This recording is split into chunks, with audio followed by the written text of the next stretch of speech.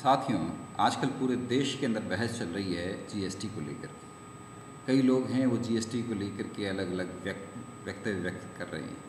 आपको क्या लगता है? जीएसटी के बारे में आपके क्या विचार हैं?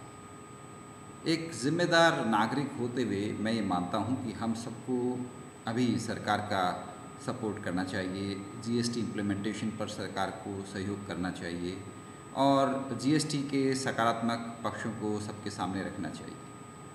लेकिन इसी समय एक बहुत महत्वपूर्ण नीतिगत मुद्दा हम सबकी आँखों के सामने आता है कि आखिर सरकार की नीति क्या है, सरकार के उद्देश्य क्या हैं और सरकार क्या करना चाह रही है, क्यों करना चाह रही है? जीएसटी लागू करने से एक बात साफ़ है। जीएसटी लागू करने के पीछे सरकार का जो मकसद है, वो है अधिक से अधिक लोगों को टैक्स ब्रैकेट के अंदर लाना, जिससे सरकार की आमदनी बढ़े। अधिक से अधिक लोग सरकार को टैक्स चुकाएँ। पूरी प्रोसेस इस तरह से सरकार की टैक्स उसके ब्रैकेट के अंदर आ जाए। इस प्रकार के प्रयासों से डेफिनेटली देश की जीडीपी बढ़ेगी। ये एक अच्छी बात है, जीडीपी बढ़ना बहुत अच्छी बात है। देश की जीडीपी देश की अर्थव्यवस्था में तरक्की आएगी, देश के अधिक से अधिक व्यापारी ऑनलाइन अपना रिटर्न सबमिट करने लग जाएँगे रेगुलरली रिटर्न सबमिट करेंगे। तो देश की पूरी इकानमी के बारे में सरकार के पास सही इन्फॉर्मेशन आएगी, व्यवस्थित इन्फॉर्मेशन आएगी। और इस प्रकार से एक देश के अंदर एक आर्थिक प्रगति को एक सकारात्मक बल मिलने लगेगा। लेकिन एक दूसरा पक्ष ये भी है जिस पर कोई बात नहीं कर रहा। सरकार जीडीपी पर, आर्थिक विकास पर और इस प्रकार के जीएसटी जैसे प्रयासों के द्वारा अपनी देश की इकोनॉमिक प्रोग्रेस के लिए जो प्रयास कर रही है, उससे एक बात साफ़ झलक रही है कि सरकार की प्राथमिकता ये इनके इन प्रक्रिया जीडीपी बढ़ाना है, ये इनके इन प्रक्रिया अधिक से अधिक लोगों को टैक्स की ब्रैकेट में लाना है। सरकार की आमदनी बढ़ाना है। लेकिन इस प्राथमिकता को आगे लाने के बाद जो निगेटिव पक्ष हैं, उसकी तरफ़ कोई बात नहीं कर रहा।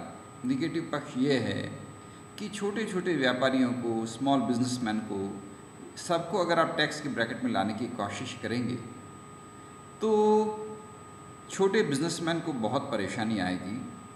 वो अभी इस स्थिति में नहीं हैं कि ऑनलाइन रिटर्न जमा करा सकें, ऑनलाइन रिटर्न की प्रोसेस को इम्प्लीमेंटेशन इम्प्लीमेंट कर सकें। टैक्स ब्रैकेट के अंदर लाने के पीछे जो सरकार का मकसद है, वो ठीक है, सरकार का मकसद, सरकार के स्तर पर काबिल तारीफ़ है। लेकिन ये उचित नहीं है कि आप बिल्कुल छोटे छोटे व्यापारियों को भी टैक्स ब्रैकेट में लाओ। जब हम टैक्सेशन की बात करते हैं तो टैक्सेशन का बेसिक उद्देश्य ही यही होता है कि जो बड़े बिजनेसमैन हैं, बड़े व्यापारी हैं, उनके ऊपर आप टैक्स लगाइए, बड़े ऑर्गेनाइजेशन से उनके ऊपर आप टैक्स लगाइए टैक्स कलेक्ट करिए और उससे जो आमदनी हो, उसको छोटे व्यापारियों के लिए, छोटे लोगों के लिए, गरीब लोगों की मदद के लिए उस आमदनी को इस्तेमाल करें।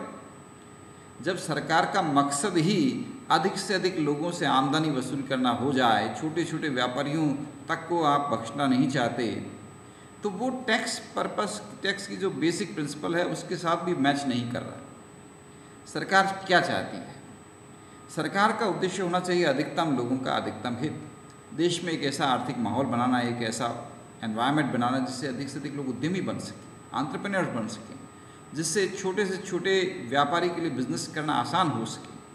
क्योंकि अधिक से अधिक लोगों के लिए बिज़नेस करना आसान होगा तो देश के अंदर रोज़गार क्रिएट होंगे। बेरोजगारी नहीं रहेगी। अगर कोई व्यक्ति बेरोजगार होगा तो सोचेगा, चलो बेरोजगार रहने से अच्छा है, मैं अपना खुद का छोटा सा बिज़नेस शुरू कर लेता हूँ।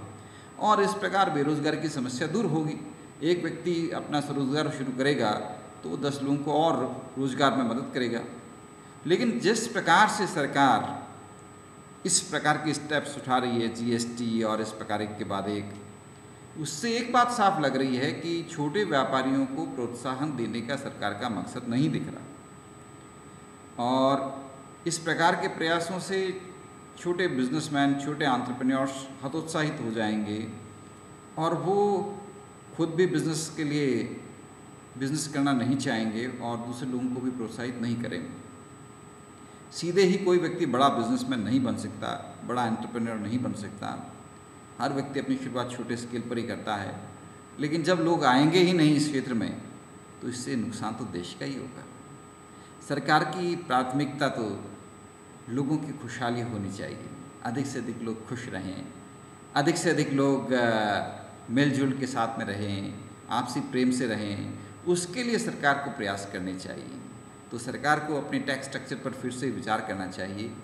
हम जीएसटी का सपोर्ट कर रहे हैं, हम सरकार के खिलाफ नहीं हैं, लेकिन एक रिक्वेस्ट है कि सरकार कुछ इस प्रकार के प्रयास करें, टैक्स स्ट्रक्चर कम हो।